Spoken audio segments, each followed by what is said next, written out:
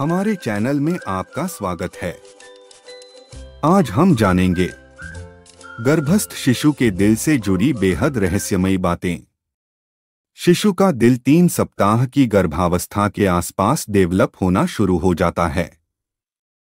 गर्भस्थ शिशु का दिल छह सप्ताह की गर्भावस्था के आसपास धड़कना शुरू हो जाता है। छह सप्ताह पर दिल की धड़कन 110 से बढ़कर 170 धड़कन प्रति मिनट हो जाती है। तेरहवें सप्ताह तक आते आते धड़कन 150 धड़कन प्रति मिनट हो जाती है।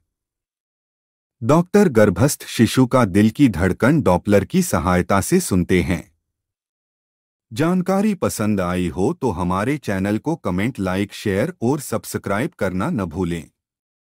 साथ ही और अन्य जानकारी प्राप्त करने हेतु कमेंट सेक्शन में सुझाव अवश्य दें।